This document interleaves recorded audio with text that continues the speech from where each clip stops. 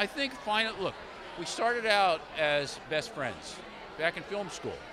And I think it's really keeping a friendship alive. You know what I mean? What is that? It's respect, it's enjoying each other's company, it's once in a while thinking the other one has something intelligent to say. You know, it's um, Yeah, I, I it's would- like a marriage I would sex. I would.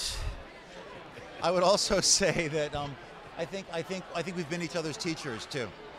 I think you know you finish film school, and it's really hard to keep learning all the things you need to, and I think we've served that role to each other. Yeah. Well, we, we've done that a lot before, really, on a lot of the television shows we've done.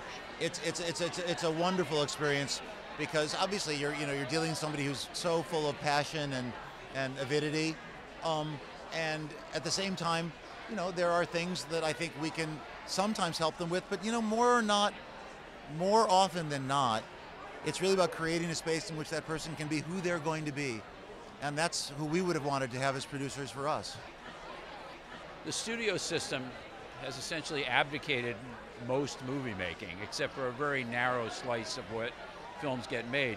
So more and more is this whole world of independent financing, and therefore, yes, it's going to expand and it's going to have its own life, and it's going to change every five years. It's going to have a different shape to it. So I, I think that's actually healthy.